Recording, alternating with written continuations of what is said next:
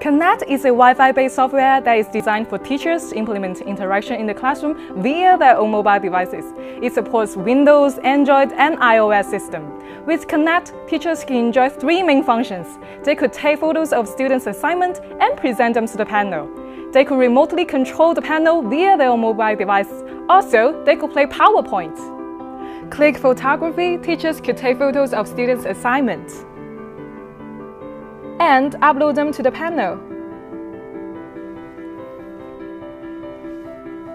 They could make annotation on it, rotate it, zoom it in, zoom it out, and then return. If they want to attract students' attention, they could use laser pen or spotlight. If they want, they could deliver medals to different students. After that, they could click and show to exit.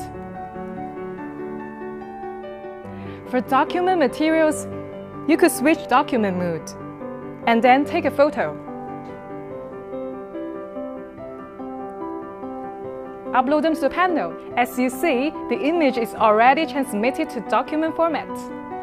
You can zoom in make annotation, rotate it.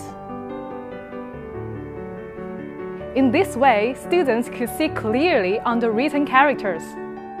When teachers open PowerPoint on the panel, they could click Slideshow to remotely control the PowerPoint.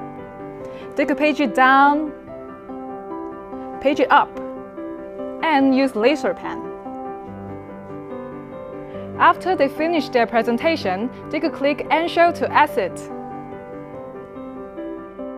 Connect also has a mirroring function. It supports desktop mirroring and mobile mirroring. Click desktop, you could see the panel screen is automatically synchronized to your mobile device. You could drag the window, zoom it in, zoom it out, and make annotation. If you finish the annotation, you could click here to exit. For teachers who want to maintain traditional mouse function, they could use touchpad here, which simulates the experience to click on the mouse. Also, they could switch window and close window. What's more, you can go back to desktop. With Connect software, teachers are no longer restricted to the front of the stage. On the contrary, they could wander freely in the classroom and interact with every single student.